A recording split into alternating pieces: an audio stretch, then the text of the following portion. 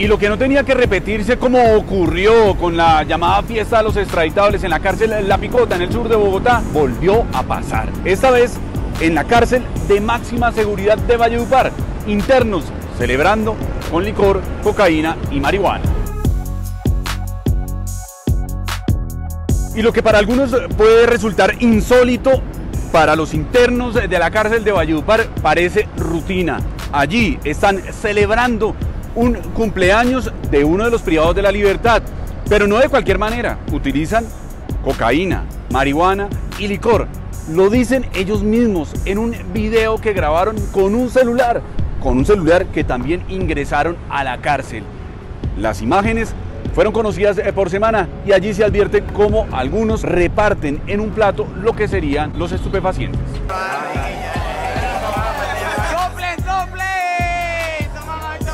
Las imágenes se enfocan claramente en quien está siendo festejado, en el cumpleañero.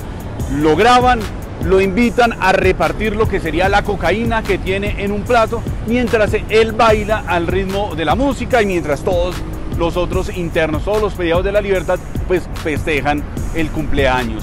Esas imágenes fueron captadas por los mismos privados de la libertad, que curiosamente revelan lo que está ocurriendo al interior de la cárcel de máxima seguridad de Valledupar. Este tipo de celebraciones que además se confirman con una solicitud que hicieron al director del penal donde le piden la autorización de ingresar dos tortas de cumpleaños y dos bolsas con al menos 5 kilos de carne, carne cruda. Es decir, ya tenían pensado, si es que no ocurrió, un asado al interior de la cárcel. Es el compañero, de cumpleaños Tras las denuncias que quedaron en video que revela Semana, pues el IMPEC ordenó un operativo en este centro de reclusión, en la cárcel de máxima seguridad de Valledupar.